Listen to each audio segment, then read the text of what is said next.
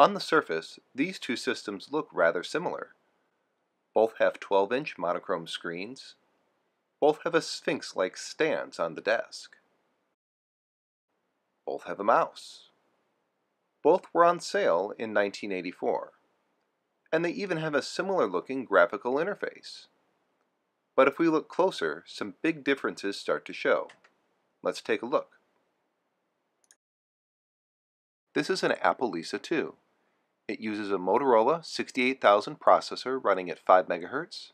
It has 2 megabytes of RAM, a bitmap display, Sony 3.5 inch floppy, and 10 megabytes of hard disk storage.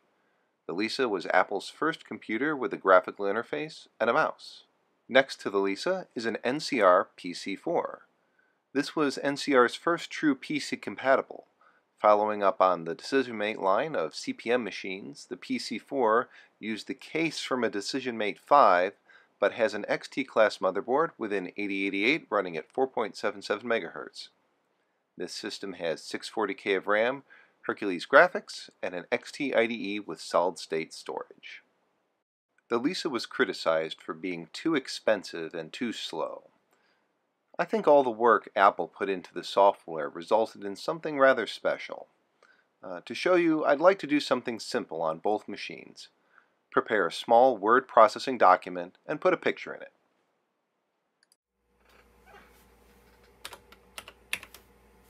So on the NCR, we'll fire up Gem. And we land at the desktop. We'll open up Gem.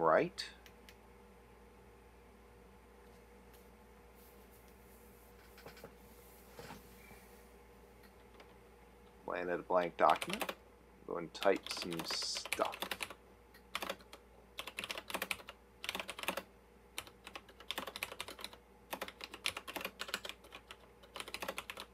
And now we'll insert a picture.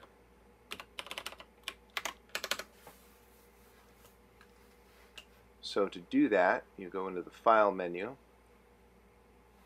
and choose Insert Graphics. Now, unfortunately, there is no way to preview what your graphics are going to look like. So we need to save our document and exit out of GemWrite because Gem is only a single tasking operating system. Let that save and we can quit. One thing that's interesting in Gem is the menus pull down as soon as you mouse over them. There's no uh, clicking on them or clicking and holding like on a, on a Mac. So I uh, began preparing an image earlier put it in this images folder. So we'll find that and open it up in uh, Gem, GemDraw.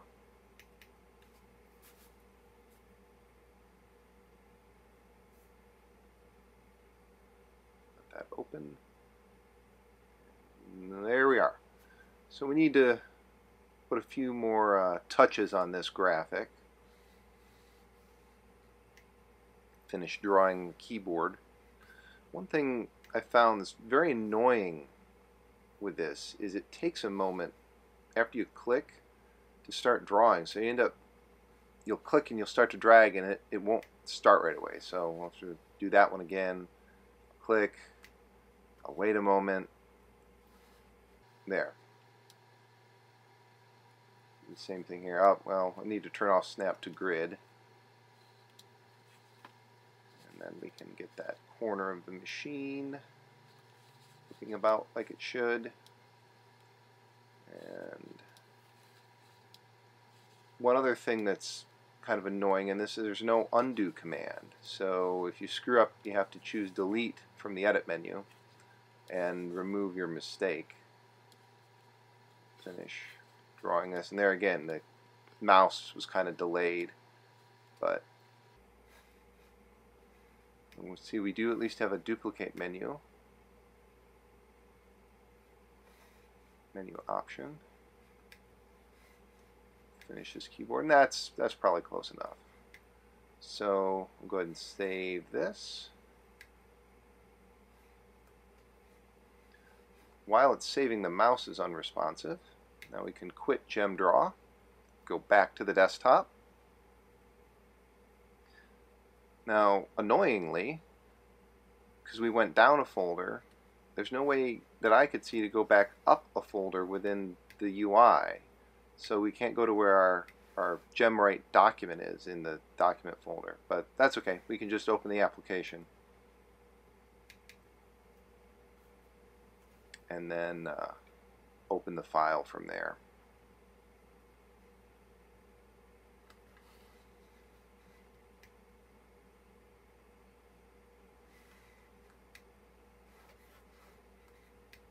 Okay. Now we can insert our picture. Notice whenever you click, the, the cursor will move to that point. You have to be careful with that. Drill down, find our picture, and insert it. There we go. Font looks like it changed a little bit. We can type underneath of it some. The slight flickering you're seeing is because this is a being an MDA display, it runs at 50 hertz, and I could not get my camera to do a 50 hertz refresh. So double clicking on a word does not select the whole word. You have to click and drag precisely, but we can go in and make it italic if we want, change the size. There is no spell check. look at our some of our other formatting preferences here. That all looks fine. Oops, the graphic went away for some reason. Hmm.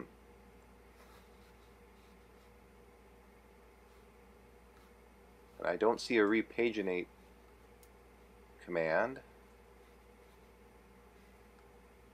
So anyway, I'll pull up the About window on GemWrite so you can see what version we're using. This is 1.0 from 1985. Oh look, our graphic came back. That's nice. So cool. Well, let's quit GemWrite. And oops, we didn't save. But there's no way to save from this dialog. We have to cancel. Then we can go to File Save. And then say, yes, we want to save and now we can quit.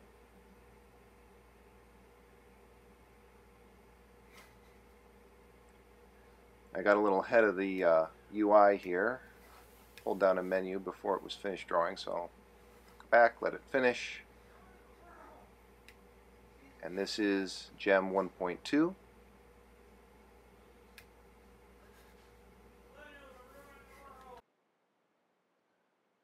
The uh, trash icon is kind of interesting because it it's just essentially a delete command. It doesn't actually give you an undo. um, I've not seen anything with an undo in this in this software. So we've just done the properties of the hard disk. We're waiting for it to count the free space. There it is. Okay, well, that's enough of that. Let's try that on the Lisa now. So here we are at the startup screen. We'll let it start the Office system.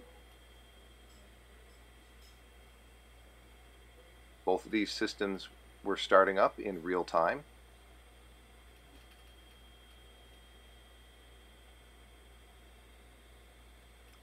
The uh, idea behind the 7/7 is that the seven applications included can work as one because you can copy paste between all of them. So what the Lisa is doing now is restoring the environment, putting all the icons back where they were when we turned the system off last.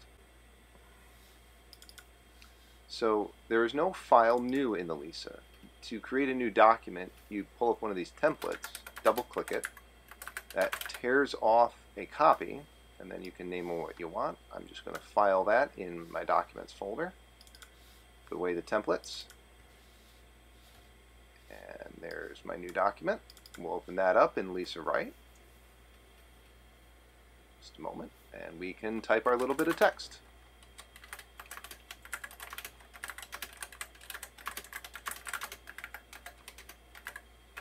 Oops, there's a typo. Oh well. Now we'll do the same thing. Let's uh, insert some drawing that we've made.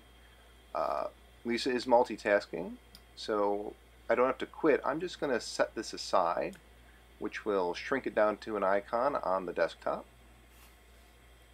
And this desk menu is kind of neat. It acts like a dock where every icon that's on the desktop gets an icon and everything that is open gets a check mark. So I was able to pull up the image I prepared earlier. We'll copy that to the clipboard. Takes a moment. And then if I can remember my alphabet, I'll find the test document, pull that back up. And we can paste our picture in.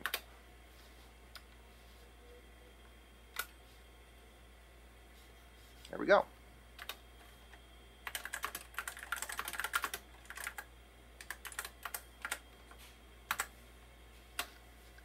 So let me check the spelling while we're here.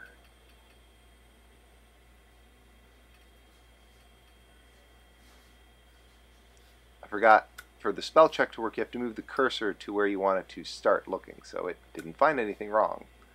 So I'm going to use the save command. This is kind of like a checkpoint for the document. You don't actually ever have to save really on the Lisa.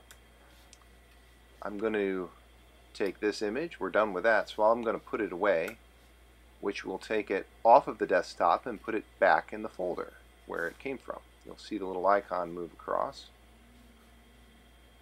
And there's the folder. So I'll put the folder away.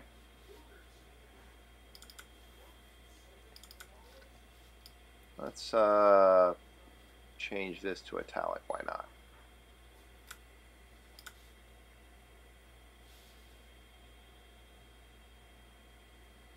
And what I'm going to do now, we're done working, so I'll just push the power button on the Lisa, and it's going to file away all of the things that are open and things on the desktop.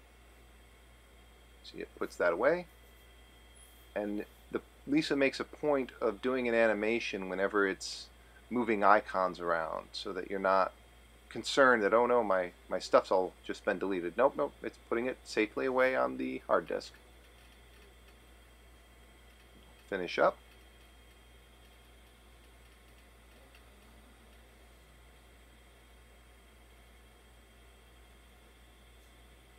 And then turn off.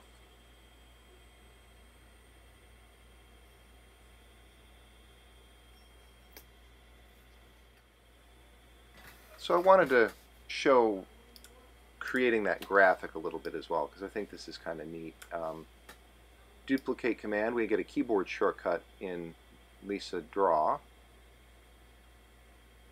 And it the mouse is just feels much more fluid in, in this software.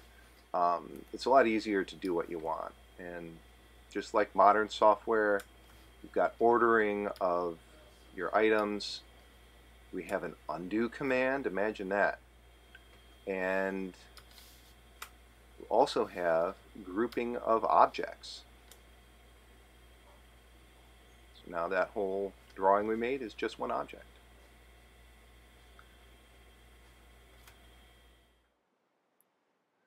So, although these systems appear kind of physically similar, the software on the Lisa feels a lot more modern and is surprising to me that you sit down at the machine and it feels natural. I think the work Apple put into that really shows. Thanks for watching. Uh, if you like more videos like this, let me know. I'd be happy to go into more depth on both of these systems.